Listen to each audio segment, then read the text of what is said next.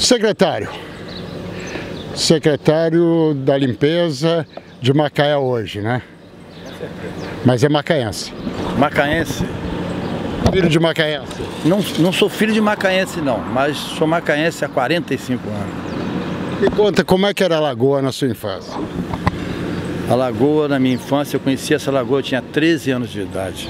Aqui se criava cabrito, se pescava siri, camarão e todo peixe que, da região nossa nativa, tudo tinha nessa lagoa. Era uma lagoa bonita, saudável, se tomava banho nela, se praticava esporte. Né? Hoje nós estamos trabalhando para fazer essa lagoa viver de novo, o mesmo carinho que ela tinha antigamente.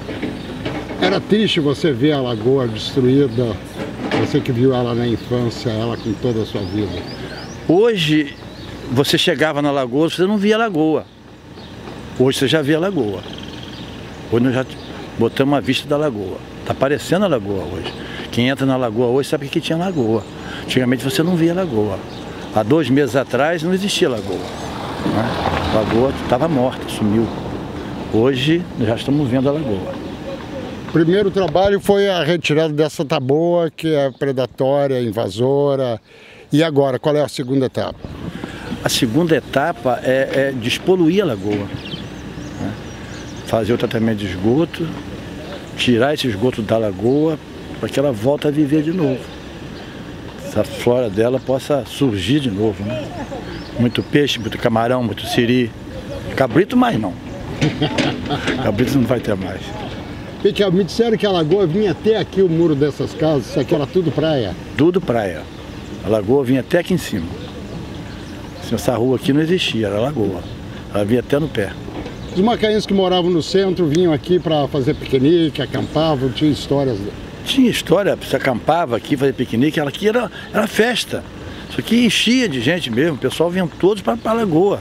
Uma lagoa tranquila, serena, não tinha agressão nenhuma, o mar era calma, a Bahia calma, né? Então as crianças vinham para cá, a família trazia as crianças para passear, para brincar, para curtir a água da lagoa, que era água limpa.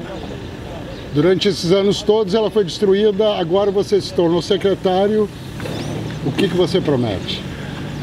Eu não sei se posso prometer, se vou poder cumprir, se vai ter tempo de fazer, mas vamos tentar dar no, mais vida a essa lagoa de novo. Fazer com que ela possa viver de novo, que as pessoas que não conheceram a lagoa possam conhecer ela.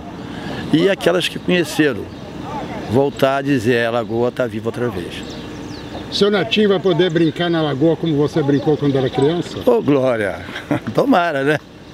Estou trazendo ele para cá para tentar brincar com ele aqui. Ok, obrigado, seu Pedro.